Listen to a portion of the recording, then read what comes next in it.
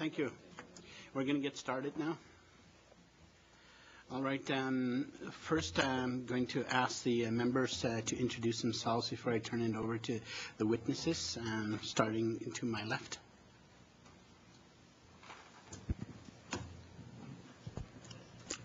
Hi, I'm uh, Kieron Testart, member for Kam Lake and deputy chair of the Priorities and Planning Committee. Cory Vanthuyne, MLA for Yellowknife North. Caroline Cochrane, MLA for Range Lake.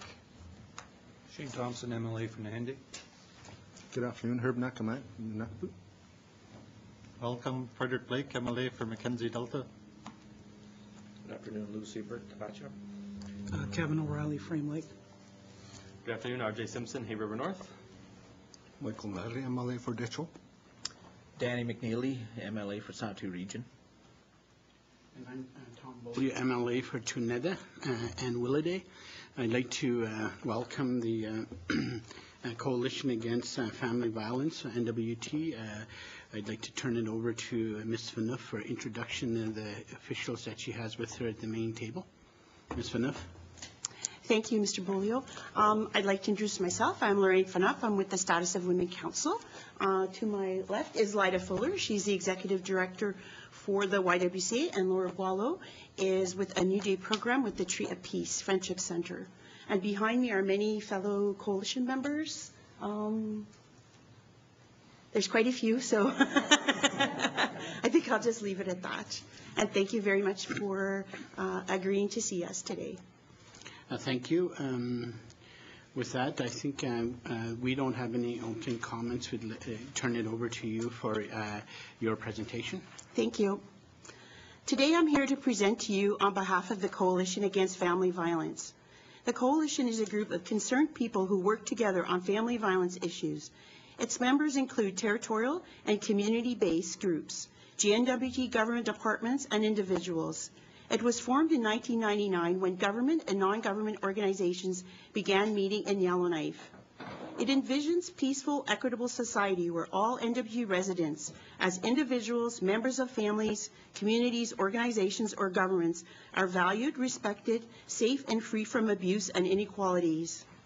It wants to provide the public with an accurate picture of family violence and its impacts on families and communities. The document you have been sent to you in advance includes our history, some key priorities, and rationales. And while we feel that although we have made progress in the area of family violence, and that we have many dedicated folks working in this area, our rates of, value, of violence and stats remain high, with many families' reality being one of violence or witnessing violence. The strategic direction in ending family violence at NWT has been prepared to provide an update on services currently available. It also includes the strategic directions the coalition hopes the GNWT will consider to address family violence in the North. According to Statistics Canada's statistical profile released on January 15, 2015, the Northwest Territories has epidemic rates of family violence that are nine times the national average, placing the NWT in second place for the highest rates of violence in Canada. Family violence does not only affect those who are abused, but it also has a substantial effect on family members, friends, co-workers, other witnesses, the economy, and the community at large. Children who grow up witnessing domestic violence are among those seriously affected by this crime. The NWT has four times the national rate for family violence against victims under 17 years of age. We are also 17 times the national average for violence against victims who are seniors. I'll explain a little bit about our history. In response to the prevalence of family violence, attempts to address it in a strategic way have been made. In 2003, the government of the Northwest Territories responded to the Coalition Against Family Violence call to action. Since then, the GNWT and the Coalition Against Family Violence have worked in partnership on many initiatives framed within the two key action plans, which ran 2003 to 2007, 2007 to 2012. These action plans have resulted in additional services and programming, as well as implementation of funding, which has helped stabilize some initiatives. A comprehensive continuum of programs and services for both victims and perpetrators are an essential part of an overall strategy to end family violence. In 2011, the coalition released 19 recommendations. The report recommendations for addressing gaps, shifting attitudes, and enhancing services to reduce family violence in the NWT. Since then, some of those recommendations have been addressed and funded by the GNWT, but there is still much work to be done. Nonprofit organizations also continue to work on projects, and research funded by various levels of government, industry, and the community continue to work. To further understand the situation in the NWT, a family violence report card was developed by the Coalition Against Family Violence in 2013. This tool review- reviewed services available as well as identified gaps for families impacted by violence. A second report card is due to come out in the next year. For many families in the NWT, family violence is a harsh reality.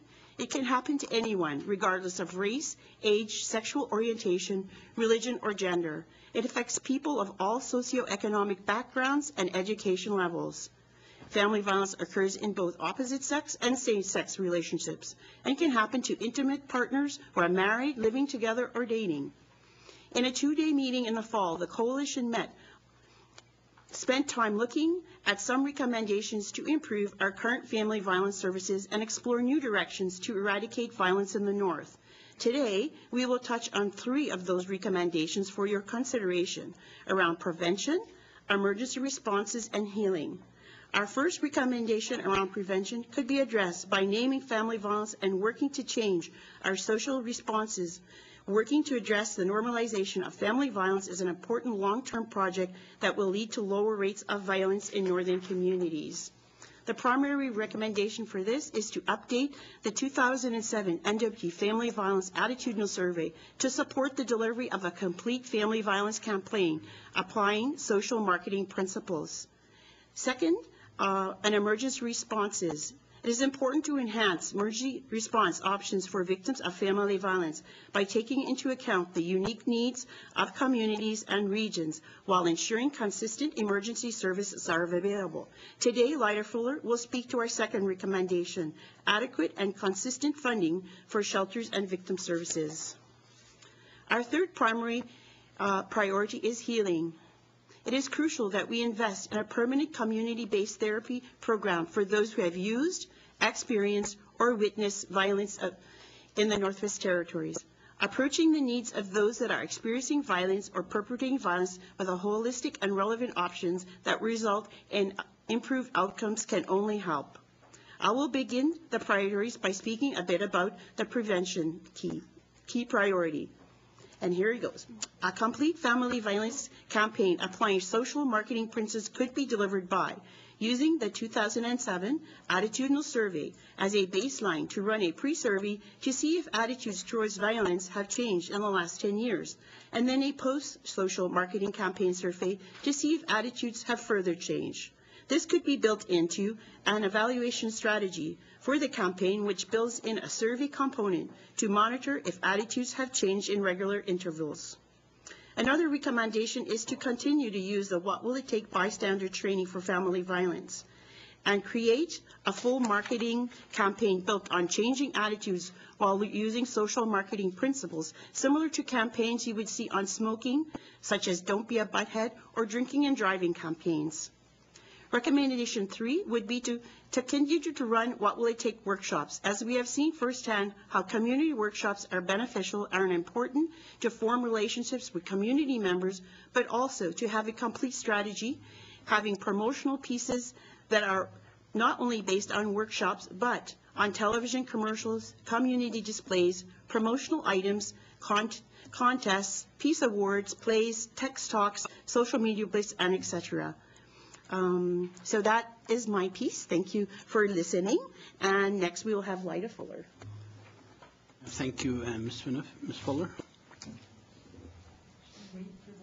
Yes. Okay. Good afternoon, everybody. Um, I just want to say that I have been involved with operating women's shelters for 30 years, and for the last eight years have done capacity building work with the family violence shelters in this territory. We at the YWCA operate two of the shelters that are in the NWT, the one here in Yellowknife, Alison McAteer House, and Sutherland House in Fort Smith.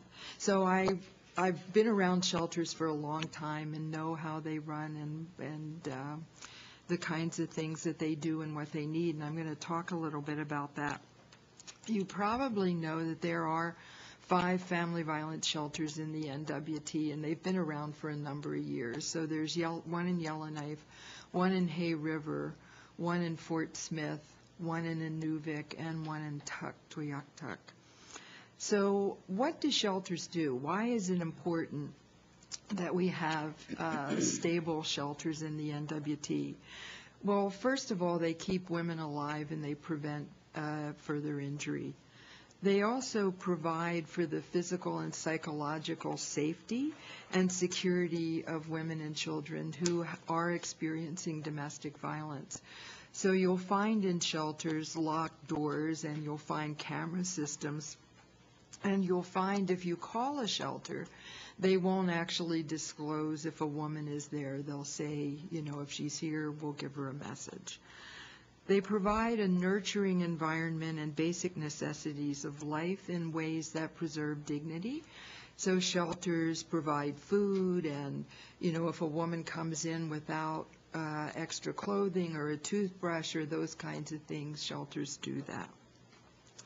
They also minimize women's isolation and desolation through contacts with staff who can provide reassurance that this is not you know, only pertaining to that woman or unusual. They also interact with other women in the shelter that they have things in common with, so they don't feel so isolated and alone.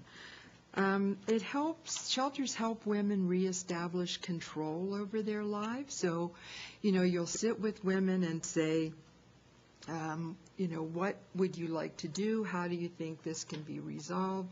um, and make basic plans and do safety planning because we know in the NWT women go back many times to partners often uh, don't want to leave partners and that's fine. We don't encourage them to leave. We just say to them, you need a safety plan. You need a way to keep yourself and your children safe. We help women gain healthier lifestyles by um, providing information on violence. We do ODARA scores, so those are risk, a risk assessment tool. So the woman might not be aware that violence tends to escalate or what her risk at the current point is or what her risk to her children is. So we help them with that. We tell them what options they might have. We do referrals to other helpers, and we do advocacy. So those are kind, the kinds of things that the shelters do.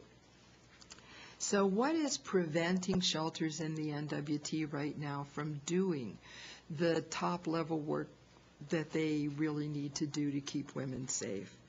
And at this point, I have to say the shelters in the NWT, with the exception of our shelter in Yellowknife, are not adequately funded. And shelters are funded at a wide variety of levels. So if you look across the board at the shelter, the five shelters, you will find funding from 266,000 up to our funding of like 680,000. So you see a wide span of funding. And the funding is not tied to the number of beds, it's not tied to the cost in the community to buy food it, there is no methodology that drives the funding to shelters, and there's no mechanism in place to provide any kind of regular increases. So, for example, the increases seem to be tied to the Family Violence Action Plan. So every time we come to do a presentation, maybe then it will be improved. So the last funding increase was 2011. And I actually remember going in Mark's Work Wearhouse here to thank Floyd Roland for doing a funding increase for the shelters as he was leaving his term as premier because it was so important and so key and they haven't had an increase since then for the shelters outside of Yellowknife. What are the consequences of underfunding for shelters? Well, marginal pay makes it difficult to not only attract staff with the skills you need, but to keep them. It means you don't have relief staff when people are out sick, and so the staff that are around, and it might be your shelter manager, are overworked or working multiple shifts. Um, It might mean that training is eliminated or cut back, or that safety is jeopardized because we've had shelters closed for periods of time when they didn't have enough money to make it through the fiscal year, or to be open over Christmas. The health standards are jeopardized. Maybe the mattresses haven't been replaced in 20 years, or they don't have a vacuum cleaner, which are two real examples we encountered this summer, where I used our donation funds to replace mattresses in one of the shelters outside of Yellowknife and to buy a vacuum cleaner that they hadn't had in their history. The responsible agency may not want to keep being the responsible agency running that shelter because they don't get coverage for any of the risks they assume or for insurance. Um, the community loses faith in the shelter's ability to help women, and fewer women who are in life-threatening situations might come to the shelter because of that. So what do we need to do in the NWT? What we are recommending is that we develop and introduce a funding formula for the shelters that accounts for bed size and different costs in shelter operations. And it would take into account, for example, shelters that own their own buildings that have particular maintenance requirements or where that shelter has to pay the utilities.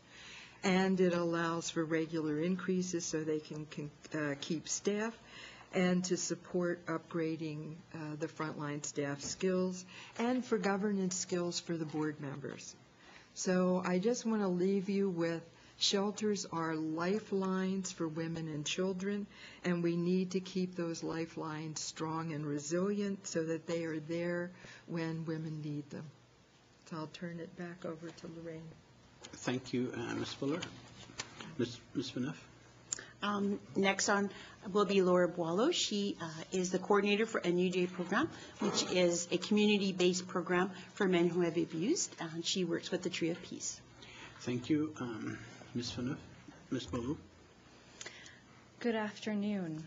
I want to say thank you so much for this opportunity uh, for us to present on this really important topic that affects so many Northerners. So again, my name is Laura Boileau, and I'm a registered professional counselor uh, and the coordinator and lead facilitator for A New Day, which is a pilot program for men who have used abuse and violence in their relationships. I've also been on the Coalition Against Family Violence for the past five years, and I've worked with victim services. Presently, I also serve those who have been impacted by residential school in my private counseling practice. So this gives me a really broad view of the proportion of trauma, family violence, sexual abuse, addictions, and the impacts of residential schools that affect all Northerners. As you've heard, the rates of family violence are staggering in the Northwest Territories, and we have very few or underfunded services to address this epidemic. The Coalition Against Family Violence canvassed communities and found that counseling was a high priority for community members. After 10 years of research and advocacy, this led to the creation of A New Day, a two-year pilot program for men who have previously used violence in their relationships. In the first year of operations, this specialized community-based counseling service has served more than 130 clients in the first year, leading to significant behavioral changes to repeat offenders. The benefits of this as a community-based program is that men don't have to wait until they're charged to reach out for help. They don't have to wait until they're involved in the justice system in order to realize that they have a problem and they need to reach out and make some changes for themselves. The need is so great that we often get calls from outside of Yellowknife for clients wanting help in their home communities, and yet there's nothing to help these men who desperately need the help to change their behavior. We find that we get calls from other communities. When men are in Yellowknife, they also drop into our office. So as part of the recommendations of the coalition, the key priority is on healing. We suggest that we need to continue to work with these men who are reaching out to end the cycle of violence and ensure that women and children are safe. So this primary recommendation on healing is to build on the current success of this specialized family violence program by funding permanent community-based counseling services for those who have used, experienced, and witnessed family violence. And in doing so, we can prevent future violence of repeat offenders. So to build on the success of this pilot program means making it a permanent, ongoing service. We need to invest in specialized counseling services, also for those who have experienced and witnessed violence. The Coalition recommends that we build on the success of Project Child Recovery, which is a YWCA program that works with children who have witnessed family violence. Currently, there are no other community-based counseling services for those who have experienced the trauma of family violence or those who have witnessed family violence. A New Day, as a two-year pilot, is the only community-based counseling service in Yellowknife that addresses those who have used violence in the past. So the Coalition recommends that community-based counseling services are provided for all those who have used violence, who have experienced violence, and who have witnessed family violence. We also recommend that these programs develop a strategy to roll out to communities outside of Yellowknife because we know that this has far-reaching implications outside of city limits. Secondary recommendations to address healing after incidents involves partnering with the Law Society to develop and implement specialized training packages for those who work in the justice system and community helpers so that we can explain the dynamics of family violence and offer tools of finding helpful ways of engaging with victims and being more supportive. We also recommend that specialized courts, such as the Domestic Violence Treatment Options Court, involve multiple appropriate referral programs and include referrals to separate services for victims, as currently we do not have that. With your support, we can help communities heal from the devastating impacts of prior family violence incidents in a holistic way that addresses the needs of entire families and communities. By prioritizing permanent, community-based counseling programs for those who have used, experienced, and witnessed violence, we can end the cycle of violence. We can prevent murdered and missing Indigenous women and girls. And the Northwest Territories can be a leader in addressing this issue. Thank you. Thank you, Ms. Wu. Um, I guess before we go on, I'd, I'd like to point out that we have two ministers in, in the room with us today. Uh, uh, Ms. Cochrane, uh, Minister responsible for status of women and the NWT Housing Corporation, among other portfolios. Uh, and we also have um, Mr. Sebert, uh, Minister responsible for Justice. Uh, Mr. Abernethy would have also been here, Minister responsible for Health and Social Services and Persons with Disabilities and Seniors, but is traveling today. So with that, I'd like to open the floor to uh, the members of the Assembly if they wish to ask any questions on the presentations we just heard. Mr. Vanthuyne.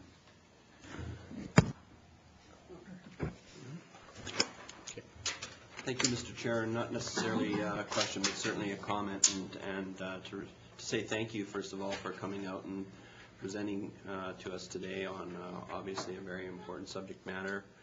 Um, it wasn't long ago that uh, we were in an election campaign, and um, social ills of our territory were at the forefront of uh, virtually every public forum that we had. And so uh, we've taken a lot of what uh, we've heard during that campaign and what we've seen, obviously, as residents of the North and as elected officials, and we've brought that into our, our priority-making process.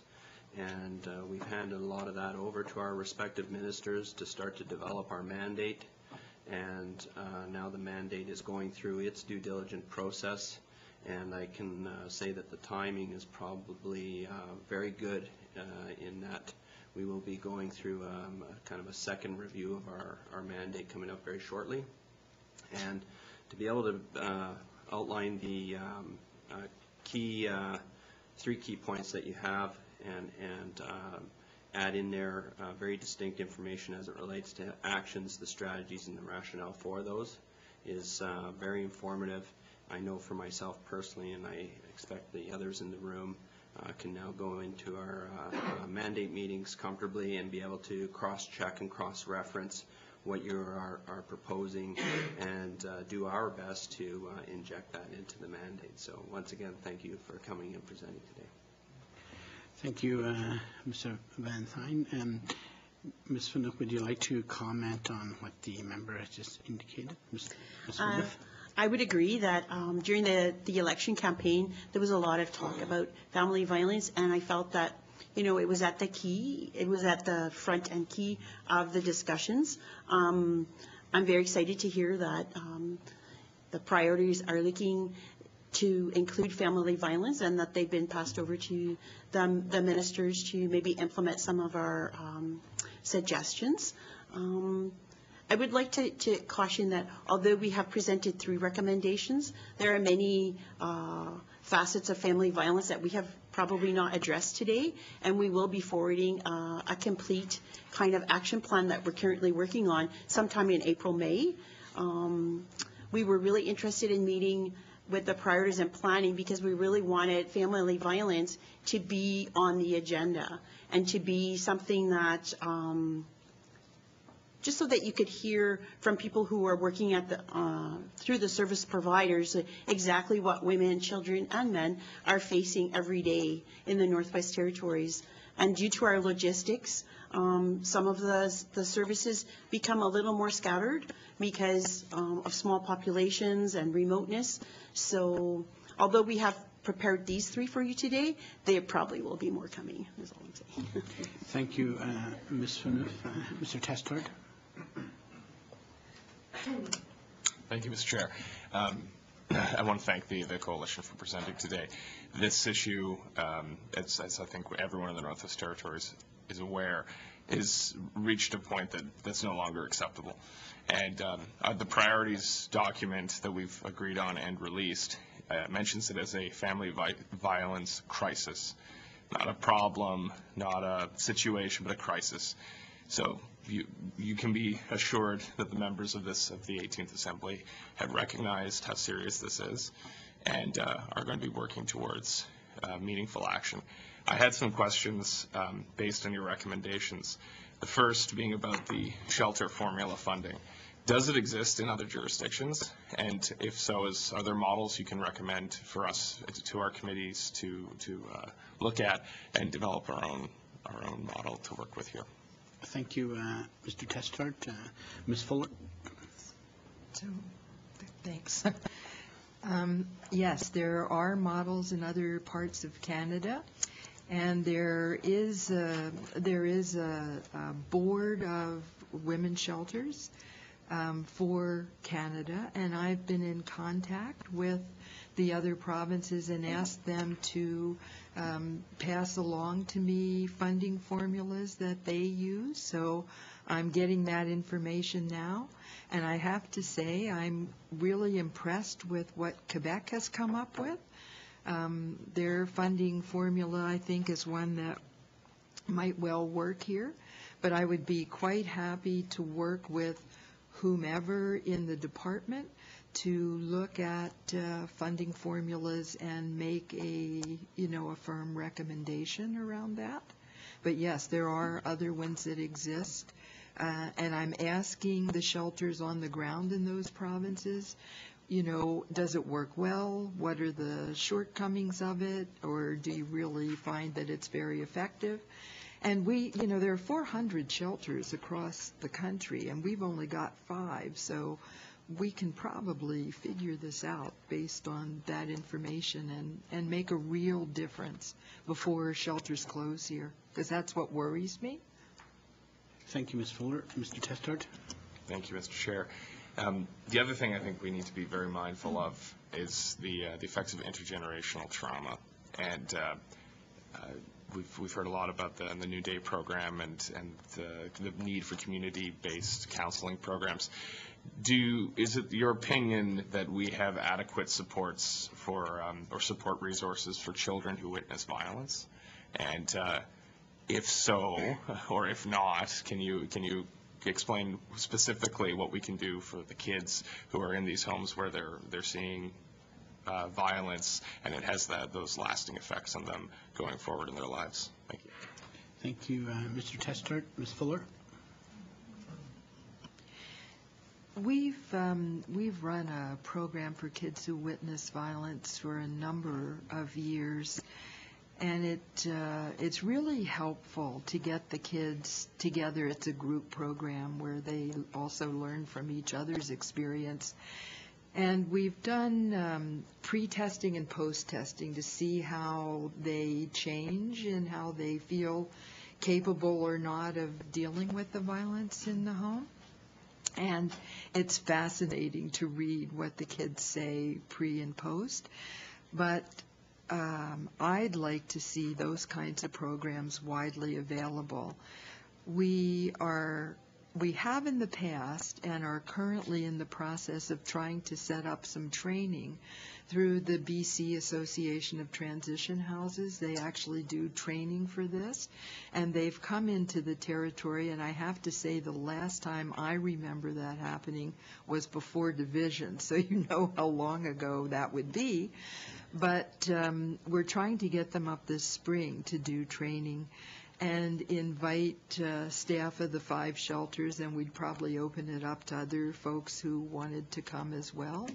But I'd like to see programs for kids who witness abuse widely available because it is helpful for the kids. It has um, a real positive outcome in their ability to cope with it, and the fact that uh, that they uh, discover that it's not their fault. Because so many kids think it's their fault, or they should be able to do something to pre- prevent it, and it's it helps them clearly identify who owns that violent behavior and who needs to change it, but what they can do to keep themselves safe and what they can do to, uh, uh, you know, to promote safety in their in their own home.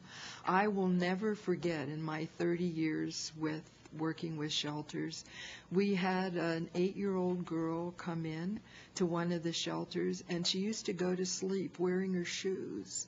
And we'd say to her, "Why are you going to sleep with your shoes on?" And she said, "Because it's my job to climb out of the window and get help."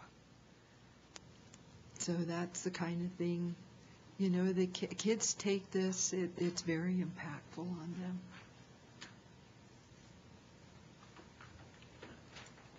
Thank you, Ms. Fuller.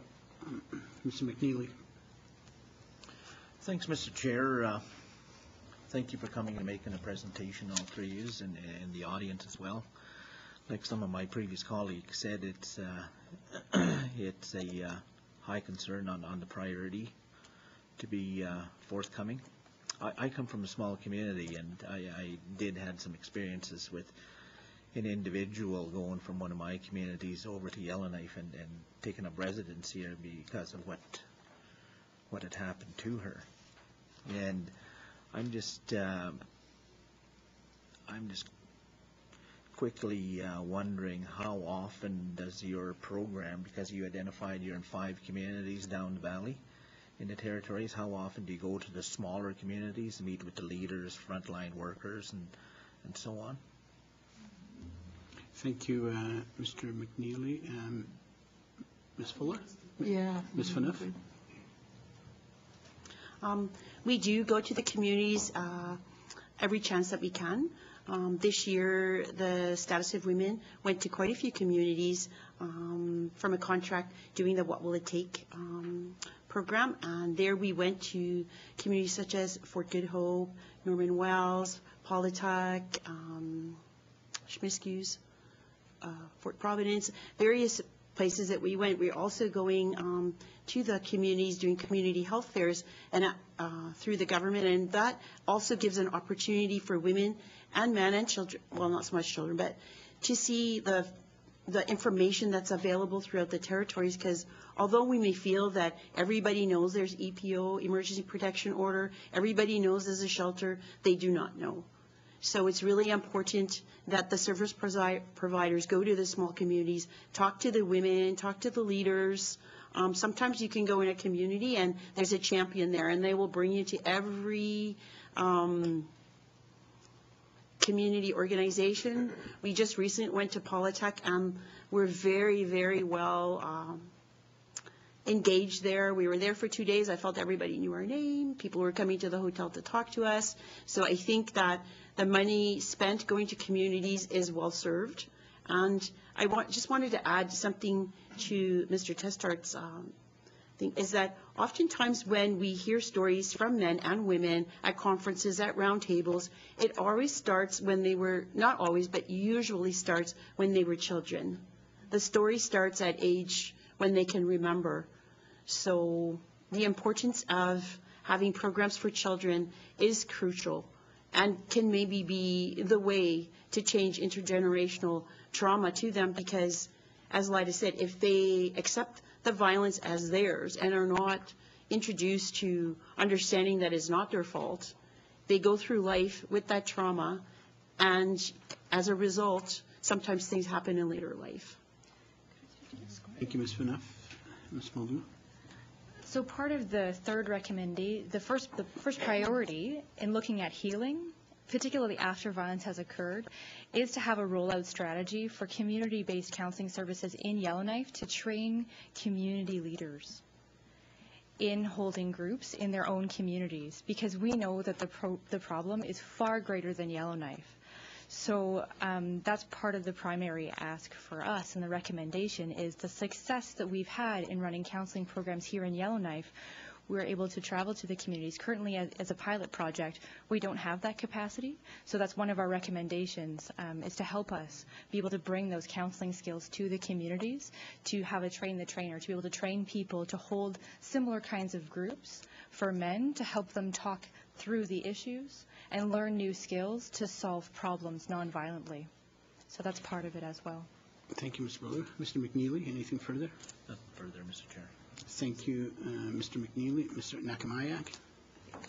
Thank you, Mr. Chair, and uh, thanks for the presentation. Um, It's nice to hear you've been to Paulatuk. That's my hometown in my region. And uh, I, uh, during during the holidays, there's there was a there was a house fire in Tuk, and I believe that uh, the shelter had housed a family there. Um, Some of these uh, shortfalls, they're um, unexpected, and there is an overhead cost. So I know everyone's talking about the prevention, and all that, but I'll focus on the on the operations part of it. Um, I see your presentation. I really appreciate it. And the next time you come and present to us, you should request that sooner. Um, Bring in operations, uh, your budget, um, your shortfalls, um, the logistics of traveling with your program. I think that would be really effective for us to see the real numbers of what your, what your program entails. And uh, when you have it, when you have it in front of you, that's when people are more apt to help. So seeing this as a, uh, a huge issue all over the north, um, coming from a small community, I've seen, witnessed a lot of that. And um, and, you know, I know it's, it's hard work that you do. Um, It's not easy. It's never gratifying. The only time you- you see it down the road is when people uh, become successes. Uh, Everyone suffers from it in every aspect, um, not only women and children, men as well, too. Uh, And it's, um, it's good to see that you're, you're focusing on everybody with healing and also uh, looking forward, um, you know, the Truth and Reconciliation Council to put out their final report. Um, Those are never, another avenue of funding that you can, you can work with, with the territorial government and the federal government too. So um, I'm, I'll be willing to help however I can. So thanks for your uh, presentation. Thank you, Mr. Chair. Thank you, uh, Mr. Nakimayak. Uh, Ms. Fuller? Thanks.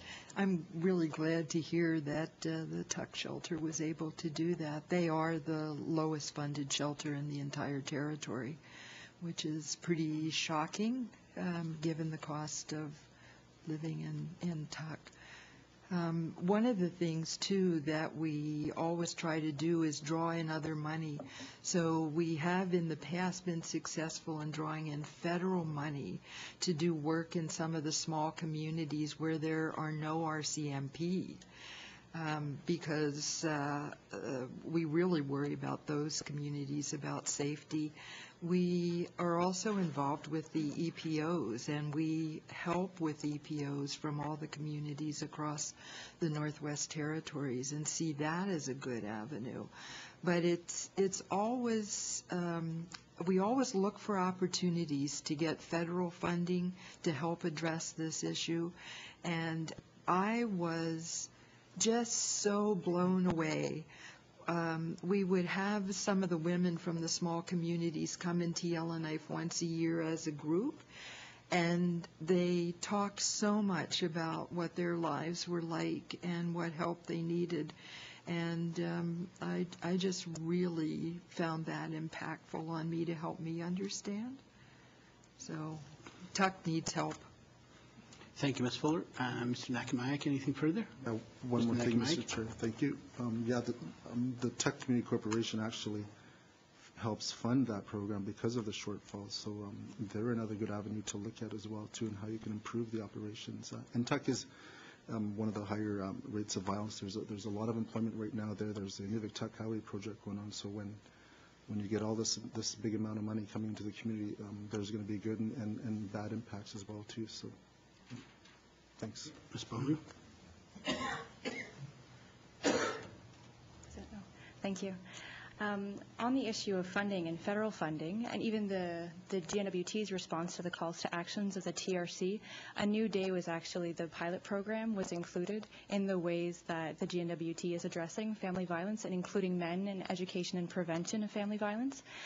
Um, we would love to be able to bring it on the land. We'd love to be able to apply for on-the-land funding. We'd love to be able to look at, I know the, the Federal Department of Justice is doing a, a long-term study. Uh, their report should be coming out, I think, this week of looking at the most effective counseling programs that are available for men, women, and children around family violence. And they find the community-based model is the most effective. Another problem with us, and I take your point about bringing the budget, so thank you. Um, we're a pilot project, so that's set to end December of this year. So knowing that we have this deadline, it's not possible if we don't know if we can keep our doors open. We don't know if we can apply for that federal funding because we don't have a baseline to, to move from. We don't have a baseline to grow from. And so that's why it's part of the ask is to actually keep the doors open to be able to apply for that ongoing funding to address that. So thank you for that question. Thank you, Ms. Beaulieu. Mr. Nakimayak? Yeah, thanks, Mr. Chair. Just one more thing to that. Um, I know a lot of the organizations in the NLBT are, you know, when it comes to, to, to the end of the fiscal year funding, people start to worry, but uh, don't uh, continue operating the way you are, like you're not going to close. So that's my advice. Thanks. Okay. Thank you, Mr. Nakimayak. Um, Mr. Thompson? Thank you, Mr. Chair. Um, Thank you very much for coming and presenting. Um, In my former life as a regular person out in the communities, um, I was a justice of the peace, so I'm very familiar with your emergency protection orders.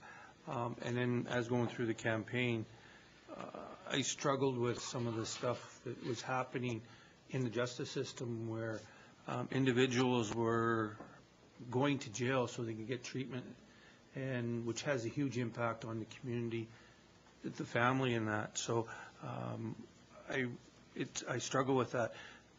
I have a couple of questions in regards to your guys' working relationship. Um, First of all, I guess the first question I have, is this federal funding or territorial funding that has developed this pilot project? Thank you, Mr. Chair. Thompson, Ms. Phaneuf? The pilot project for the A New Day is, is. uh, Excuse me? Um, uh, Thank you, uh, Ms. Phaneuf. Mr. Thompson? Yes, New Day. Thank you, Mr. Thompson. Ms. Phaneuf? Oh, sorry. Yes, it's funded by the Community Justice um, with the territorial government. Thank you, Ms. Phaneuf. Mr. Thompson? Okay, so, um, again, I guess the, without knowing the budget and how much has been put into it, um, and the success, has there been an evaluation proposal put forward that shows that this works or doesn't work? And if so, when have they been implemented? Because you're into year two, so there should be some results to it. Thank you. Mr. Thompson? Ms. Beaulieu? Uh, Yeah, thank you for that question. So there is, uh, we have been compiling all the statistical information from the first year. Um, That's of course gone to the, the- our- the funder, which is the Department of Community Justice. They're looking at doing a formal evaluation beginning shortly.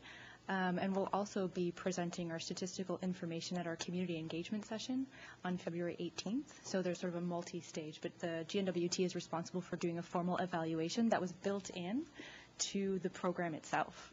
So the evaluation, um, I expect that it'll come out and that it will be, uh, that it will be successful based on our first year and how much community support we have and how we're integrated in other services as well. Because for also for those men who may be involved with the justice system, we do make contact with probation, with child protection, with parole, um, even with NSCC. So we're fairly well integrated.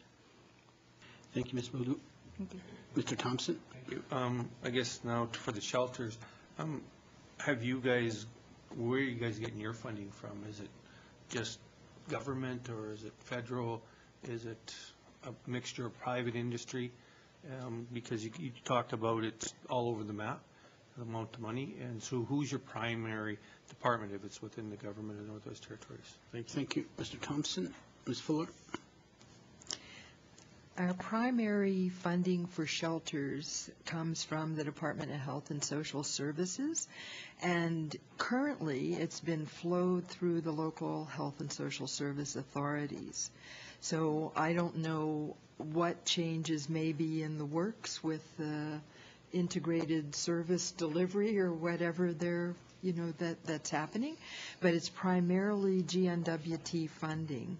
Um, several of the shelters, although I don't know whether this would be all of them, but several of them have uh, get donations from the community, both in kind things and monetary donations. And some of those are targeted uh, towards specific things, like I know the shelter in Fort Smith does a Christmas dinner, um, and they get donations for that. Um, We get a fair number of donations here in Yellowknife. We also solicit donations. Um, Most of the shelters don't have staff who are dedicated to soliciting donations, but the primary funding comes from the Department of Health and Social Services.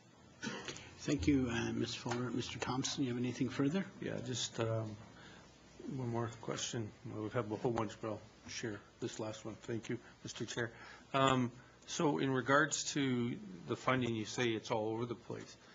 How, how is it all over the place? It doesn't make any sense if, if we have five shelters, they then should be treated equally. And you say it- it's done through health and social services, flown to the local health authorities or the regional authorities, I believe. So uh, maybe it's not you I should be asking this question to, but I mean, how, how- you talked about the, the structure being different, so what's the lowest amount and what's the highest amount, I guess would be the question, and, and then how is that? Thank you. Thank you, Mr. Thompson. Ms. Fuller? The lowest amount is for the shelter in Tuk, and it's a four-bed shelter, but it also takes in uh, children who need, um, who need care. So it, it also acts as sort of respite for foster care. Um, Their funding level is 266,000. The next funded amount is uh, Inuvik, and they get around 450,000. They are, um, I believe, a 12-bed shelter. No, they're an eight-bed shelter, sorry, they're eight beds. Um, And then there is Hay River. They get 513,000, and they have 11 beds. And then uh, Fort Smith Sutherland House has eight beds, and they get 515, 515,000. And the shelter in Yellowknife, Alison McAteer House that we operate is 12 beds, and they are appropriately funded, in my view, and they get um, 687,000. Thank you, Ms. Fuller. Mr. Thompson, are you done? Uh, Yeah, I just, well, just one little last comment.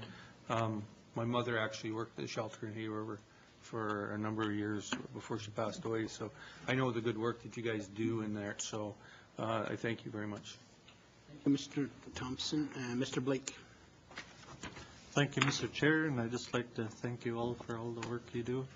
Um, You know, just thinking back, um, I think we could go through our numbers from the mid-'80s, I know uh, back then there were actually uh, shelters in the communities, like Tsiigehtchic, I believe Fort McPherson as well, and, you know, um, I know we've come a long way since then, but seems our funding hasn't, but, uh, you know, I, I think that as we move forward, our social programs can look into the numbers that were given to the, this department back then and, uh, work closely with your coalition as we move forward. Thank you. Thank you, uh, Mr. Blake. Uh, um, The uh, chair of the uh, social programs is uh, Mr. Thompson, so in in the future, if you guys wish to engage with the social programs uh, members, there are six members in here on the social programs. Uh, Are there any other uh, questions or comments from uh, Ms. Cochrane? Um, I think uh, I just wanted to point out, I mean, everybody knows the fiscal constraints upon the GNWT, so I'm not going to, going to put that out there. And the people that are presenting know I'm honest, strength and faults, so.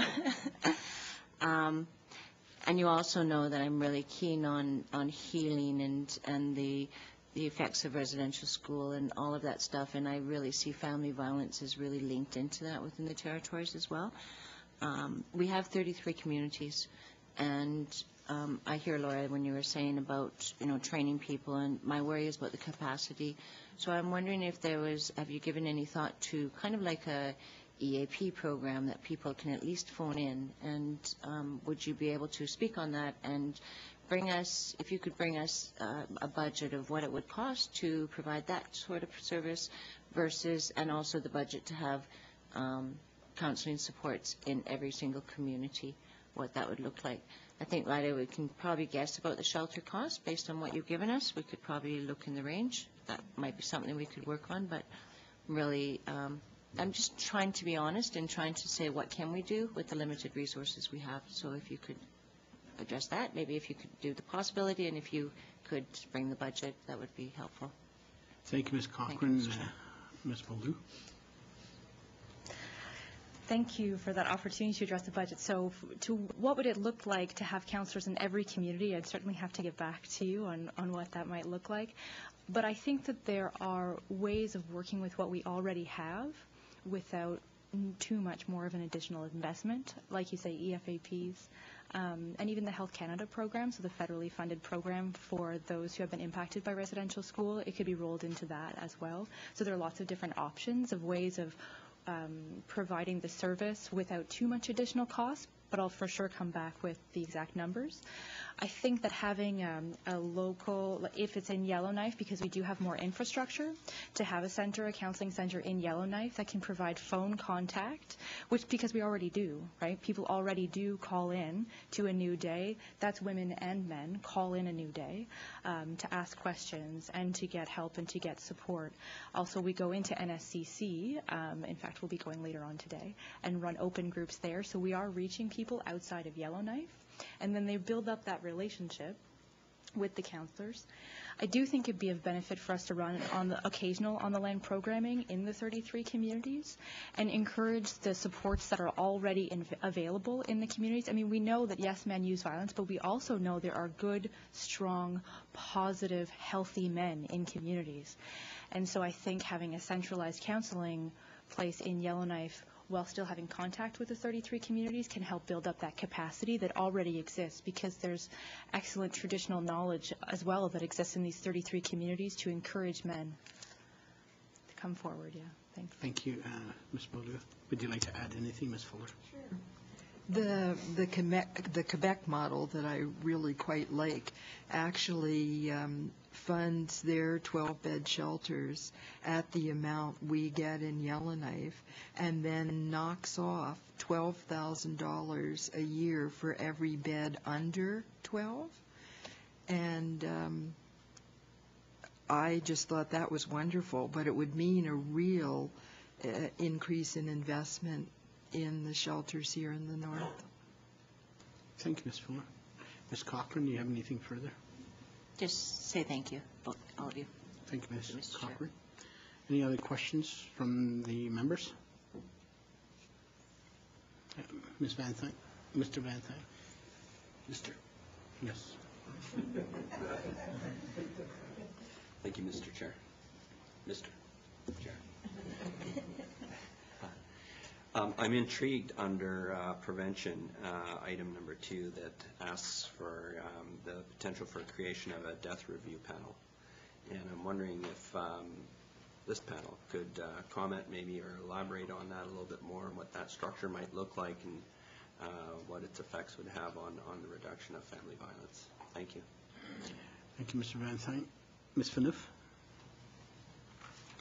I think we've been, you know, at the coalition, looking at a death review panel for quite a few years. We've had presentations on uh, Dr. Websdale's um, theories and how it works, and I think, you know, um, it would be beneficial to have a group of people, experts on family violence, looking at deaths that happen in uh, the Northwest Territories, where you'd have nurses and the coroner and police and all different folks who work in that area all the time, because I think that it would lead us to some of the gaps. It would, it would bring us to links as to how we can, you know, prevent further deaths.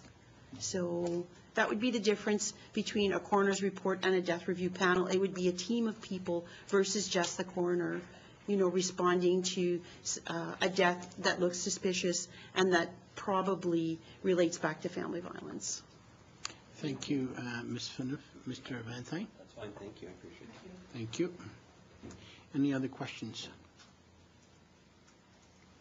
Um, Seeing none, I'd like to um, uh, thank the uh, coalition for the presentation here. I'm sure that the members um, will get a lot out of this and have an opportunity to discuss this further. Um, And when when we do see some something from you guys, we'll be more informed. So I'd like to thank you very much. Thank you.